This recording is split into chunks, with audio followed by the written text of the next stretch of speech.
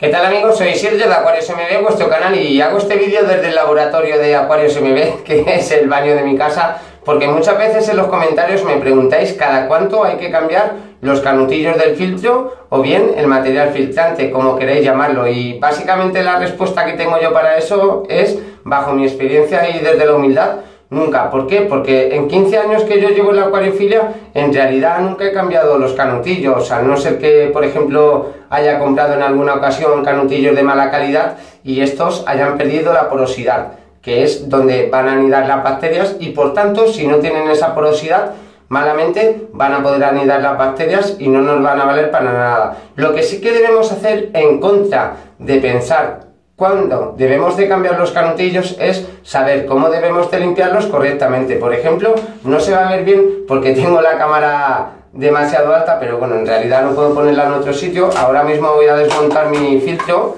el Crystal Profi JBL, el que tengo tanto para marino como para dulce. Y tengo aquí un cubo de agua del acuario, no con el agua del filtro, lo vamos a limpiar porque siempre va a contener suciedad, sino con agua del acuario que está mucho más limpia, donde vamos a limpiar los canutillos. El motivo de hacer esto al mismo tiempo que os enseño cómo está el filtro es para que veáis cómo lo debemos de limpiar. Vamos a sacar la primera etapa, que sería el prefiltro. Ya veis que está básicamente saturado de suciedad, llevo sin limpiarlo un mes o mes y medio, pero bueno, en realidad a lo que nos acontece es a los canutillos en general, de lo que vamos a hablar y lo que vamos a limpiar. Si veis, por ejemplo, estos,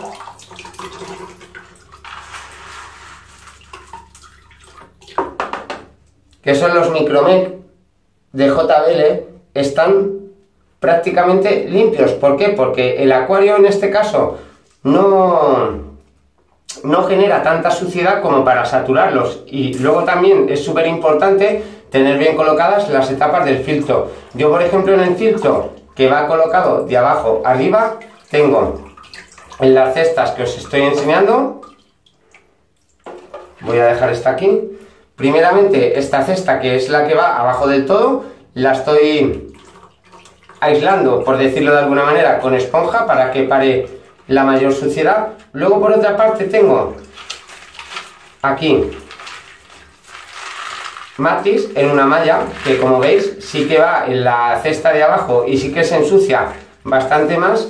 Y en la segunda cesta tengo también esponja en la parte de abajo y en la parte de arriba micromec de JBL lo que os quiero explicar es lo siguiente. Los canutillos vamos a coger los de matis en este caso suelen generar suciedad. Por ejemplo, esta suciedad que está aquí acumulada es la que se va a meter en el interior del canutillo y por tanto no nos va a dejar que aniden correctamente las bacterias. Pero esto no pasa en dos o tres semanas, sino a lo mejor en 6-7 meses. Si veis los canutillos, esto es el... ahora cógese. Este es el matriz de Siporas, de Siporas digo yo, de Sichen, y está bastante sucio. Lo único que vamos a hacer es coger, en este caso, la malla de la bolsa.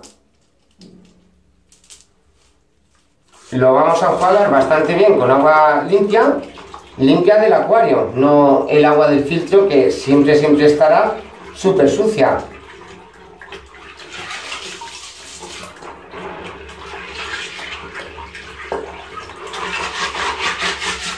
Así moviéndonos para que se floten entre ellos porque recalco, si son de buena calidad no tienen por qué perder la porosidad exterior. Luego aparte también tienen microporos interiores, pero bueno, eso es en realidad, ahora explicaremos más adelante cómo limpiarlos. ¿Veis? En este caso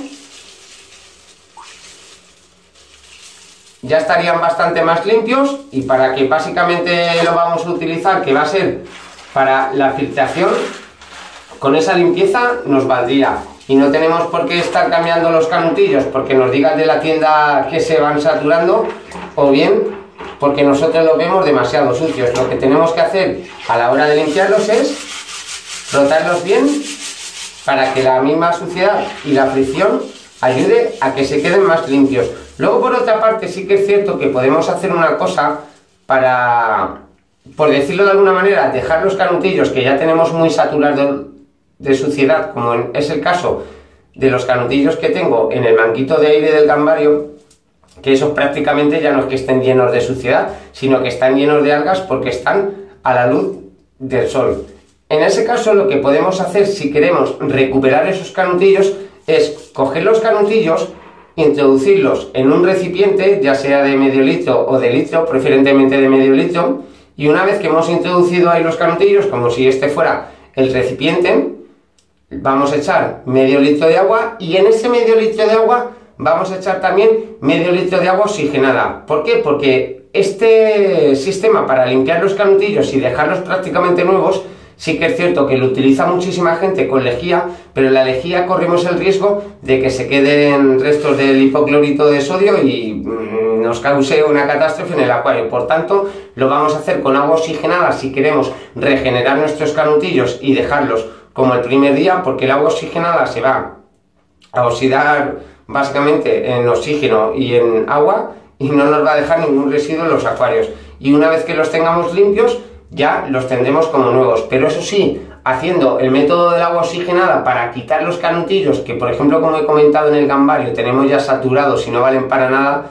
sí que es cierto que nos va a matar toda la colona bacteriana. Pero en este caso, a la hora de limpiar el material filtrante para que nos dure más tiempo y para que en él puedan anidar mayores bacterias nitrificantes y desnitrificantes, es como os estoy enseñando. Cogemos el filtro, cogemos el material, no tiene por qué ser en una malla, lo podemos tener también suelto, lo vamos frotando hasta que vayamos viendo que se va quedando blanquecito y poco más y así ni nos gastaremos el dinero a lo tonto en cambiar los canutillos, ni estaremos perdiendo colonia bacteriana por hacer las cosas mal, ni perderemos el equilibrio que tanto nos cuesta en nuestro acuario ganar.